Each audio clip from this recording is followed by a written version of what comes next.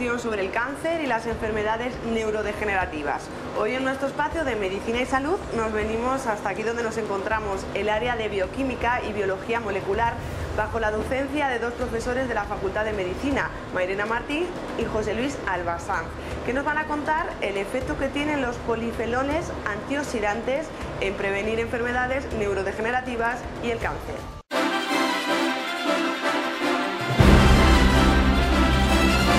Nosotros estamos trabajando desde hace ya eh, unos años en el, eh, dilucidar el efecto, el posible efecto que tiene neuroprotector y anticancerígeno preventivo de determinados eh, polifenoles. polifenoles que se encuentran en, los alimentos, algunos en la uva, como puede ser el resveratrol, y algunos pues, que aparecen también en el lúpulo que, forma parte de la, cerveza. Eh, llevamos ya muchos años, nosotros que teníamos experiencia en el estudio de, enfermedades neurodegenerativas y em, habíamos visto que hay eh, proteínas, moléculas que son proteínas que todo el mundo las conoce, que están en la superficie de las células, están justo en la superficie de las células eh, o bien neuronales o bien tumorales y que esas proteínas lo que hacen es ser intermediarios de la transmisión de una información. ¿vale? Y entonces hay moléculas eh, químicas que eh, cuando llegan a las células se unen a esas proteínas y pues eh, hacen que mm, seamos capaces de aprender, de memorizar o que se mande señalizaciones también en las células eh, tumorales. Y entonces eh, nosotros ya teníamos datos de que en, en cerebro, por ejemplo en cerebro post-morte, de personas que han fallecido con Alzheimer,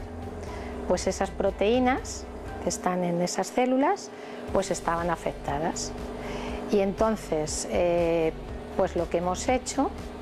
es eh, ver cómo, o lo que estamos haciendo en la actualidad,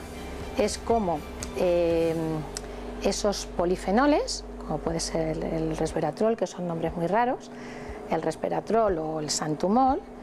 cómo son capaces de em, evitar la alteración o la afectación que se produce de esas proteínas en, las personas que están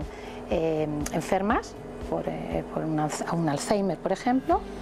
y lo que estamos también intentando eh, ahora es ver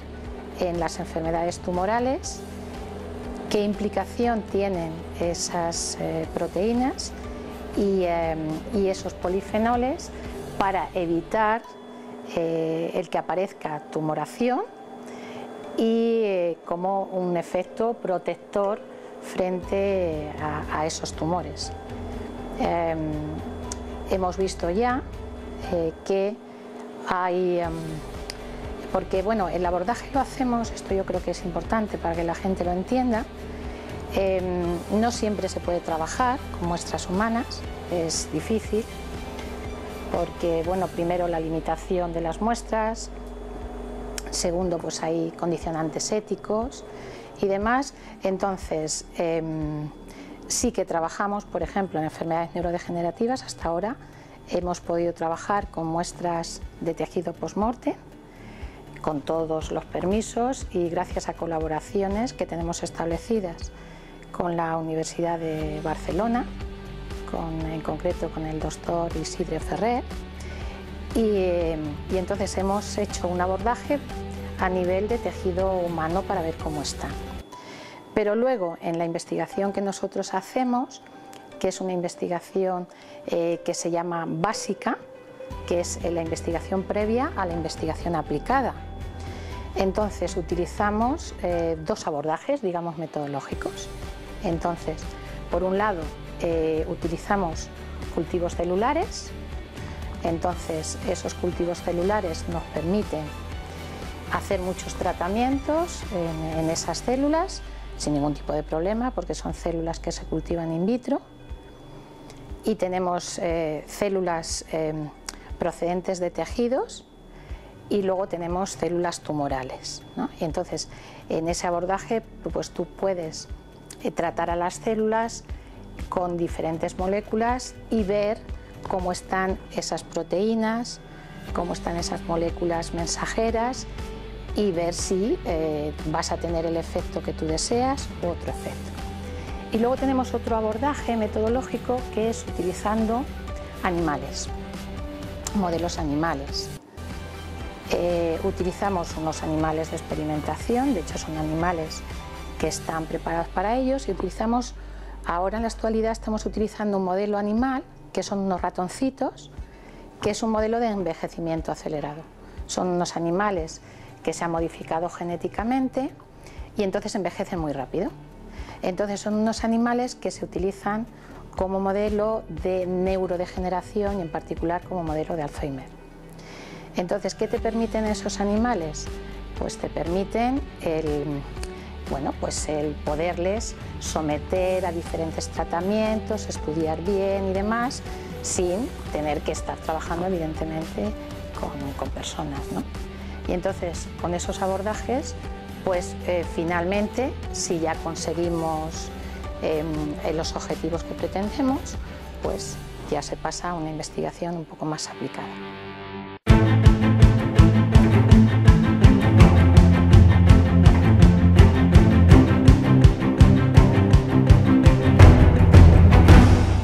Ver, ¿cómo hacemos, ¿cómo hacemos nuestra investigación en el día a día? Pues de todos eh, esos, esas muestras que comentaba, tanto muestras eh, de tejido humano como muestras de animales de experimentación o como de células, pues lo que hacemos es, como las moléculas que nos interesan están en la membrana de las células, pues lo que tenemos que hacer es extraer esa membrana de las células. Entonces, cuando extraemos esa membrana de las células, estudiamos las proteínas que están en la membrana por diferentes métodos. Entonces, uno de los métodos que utilizamos eh, es que em, sometemos, separamos las proteínas aplicando un campo eléctrico y eh, luego identificamos las proteínas que nos interese con unas eh, moléculas, unos anticuerpos que las reconocen, se unen a ellas y podemos ver la cantidad de proteína que tenemos en cada caso. Entonces, si son muestras eh, de individuos eh, sanos, por ejemplo, es decir, gente que no ha fallecido con una enfermedad neurodegenerativa, con un Alzheimer,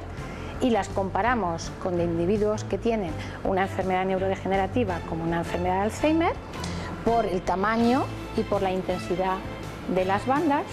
podemos ver si tenemos más o menor esa proteína. ¿vale? Y luego, sometiendo a las células al tratamiento con esos polifenoles que hemos estado hablando, vemos si ese tamaño, esa banda se recupera o no se recupera, es decir, si esos polifenoles tienen un efecto protector o no. ¿vale? Y luego, pues em, hemos visto, hemos visto ya que em, en eh, esos modelos animales que os comentaba, es un modelo, es un ratoncito que se llaman SAM P8, de, es un modelo de senescencia acelerada. Entonces, en esos ratones SAMP8 hemos visto en el cerebro que eh, si bien con el envejecimiento y como se consideran como modelos de Alzheimer hay una afectación eh, de esas proteínas, que no quiero dar nombres por no complicar, pues cuando hemos tenido grupos de animalillos que han sido eh, consumidores o que se les ha administrado esa molécula, ese polifenol, ese resveratrol en la dieta, como lo podemos consumir los humanos, hemos visto que hay un efecto que se recupera frente al, caso de las enfermedades o el envejecimiento eh, de esa neurodegeneración de tipo eh, Alzheimer. ¿vale? Y luego, pues em, eh, también tenemos eh, muchos métodos de abordaje, no solamente eh, ya lo que sean las líneas de células o los animalillos o el tejido humano, sino que luego podemos estudiar no solamente cómo están esas proteínas,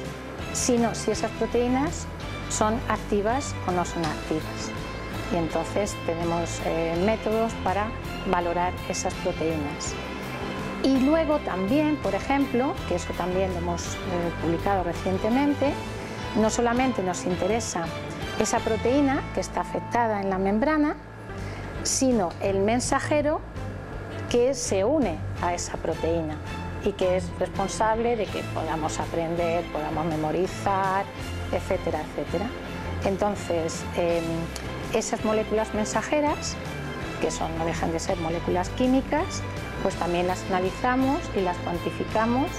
mediante unos métodos, eh, bueno, que son, no quiero utilizar muchos términos, pero son unas técnicas que se llaman eh, cromatográficas, es un método de, que se llama, bueno, de cromatografía de alta resolución, bueno, que sacamos y podemos eh, cuantificar.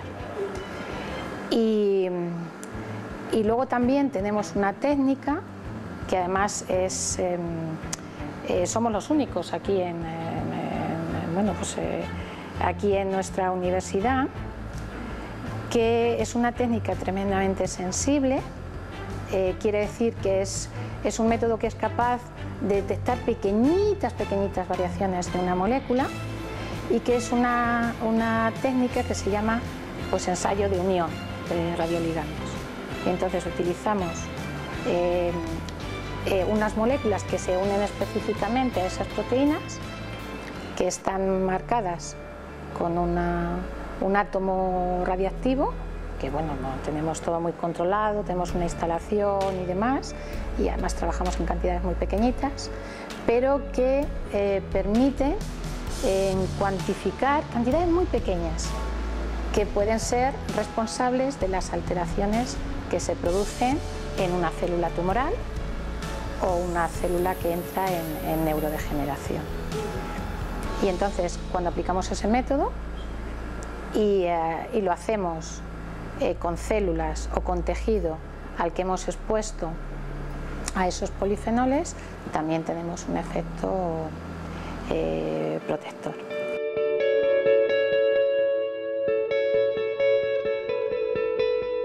En todo lo que se refiere al, mm, cáncer, las enfermedades tumorales, mm, que ya decía que llevamos ya un tiempo trabajando en el tema. Empezó Alejandro Sánchez Melgar su tesis y ahora seguimos con, con Sonia Muñoz que está em, eh, aquí eh, haciendo la tesis doctoral gracias a, una financiación de una tesis, uy, perdón, de una, de una beca de, de la Asociación Española contra el Cáncer. Entonces, em, Estamos con resultados que ya tenemos eh, de eh, que la exposición de las células tumorales a esos polifenoles, en este caso en particular dos, el resveratrol, que ya digo que está en la uva, en el vino, y el santumol, que está más en el lúpulo y en la cerveza,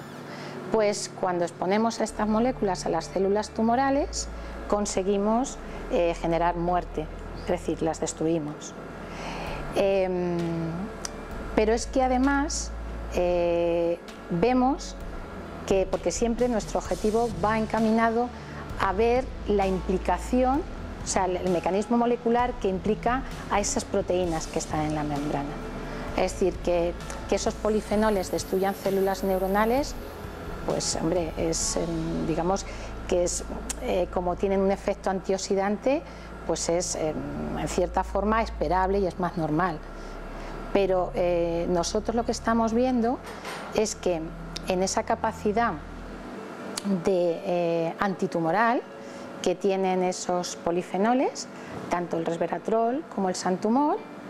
pues eh, hay implicación de esas proteínas de membrana. Entonces, sabemos que em, que hay una implicación y entonces lo que queremos ver es qué beneficio tienen eh, algunas de estas moléculas o, perjuicio en su caso para eh, modulándolas, es decir, alterando mediante la exposición de esos polifenoles, pues intentar evitar eh, la tumoración o a largo plazo que eso evidentemente estamos en ello, incluso eh, poder diseñar em, moléculas em, que tengan efectos sobre estas proteínas y que puedan tener un efecto antitumoral. Entonces estamos en ello, tenemos ya eh, algunos resultados que son bueno, bastante esperanzadores, pero evidentemente eh, es un proyecto que está eh, ahora en marcha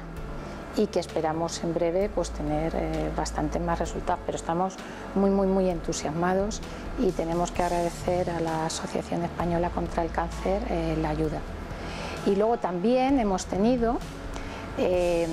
una, una beca también y un proyecto y que firmamos un convenio con la Fundación Cerveza y Salud de, España que nos ha permitido pues trabajar eh, en este caso más con el santumol, aunque también eh, la cerveza tiene resveratrol. Todo ello con cuidado, que, todas estas eh, moléculas que tienen un efecto antioxidante, el hecho de que estén en, cerveza y en vino, pues puede hacer pensar a la gente que que consumir. No, hay que consumir siempre de manera muy moderada y muy, controlada, porque todo este tipo de bebidas tiene alcohol que tiene un efecto totalmente contrario. El alcohol es potencialmente cancerígeno y, y además se ha relacionado con enfermedades eh, tumorales, o sea que hay que controlar. Hay que sacar la parte buena de, estas, de lo que son estas moléculas, de los polifenoles antioxidantes y demás, pero evidentemente hay que eliminar la parte del alcohol.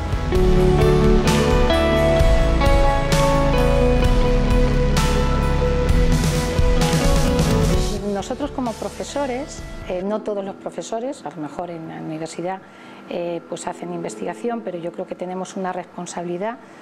todos los docentes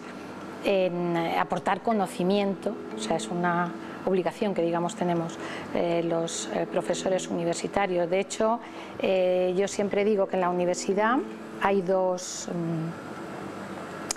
eh, dos eh, barreras, digamos, de sustento. ¿no? Tenemos la parte docente y la parte investigadora y que además en muchas ocasiones están muy relacionadas porque si tienes conocimientos a nivel de investigación eso te puede ayudar también eh, para tu docencia. Es verdad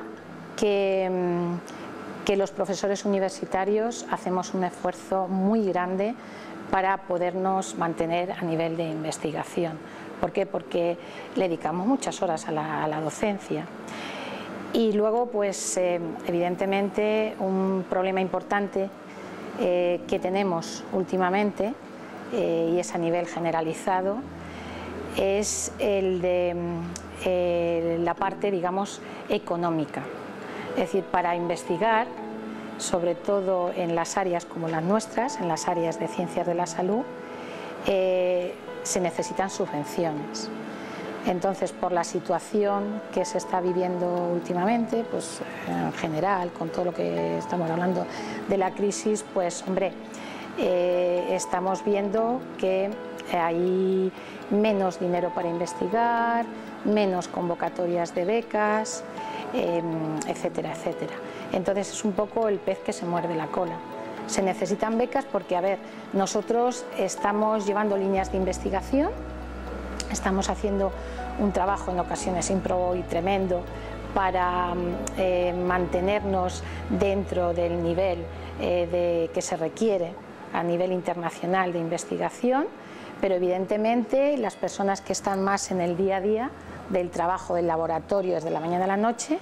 eh, son los investigadores predoctorales o los jóvenes investigadores postdoctorales que evidentemente necesitan tener y contar con ayudas y con, becas. Pero yo he de reconocer que con todo y con ello, bueno, pues estamos intentando, o sea, sobrevivimos en el mundo de la investigación, pero que es tremendamente importante el papel que desempeña la universidad y la Universidad de Castilla-La Mancha. Yo creo que nuestra universidad, yo que conozco a la universidad desde su más tierna infancia,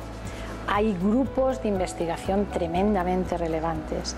y eh, no hay nada más que ver el ranking que, tiene en investigación la, la Universidad de Castilla-La Mancha y hay grupos muy muy buenos que han puesto a Castilla-La Mancha en el panorama internacional.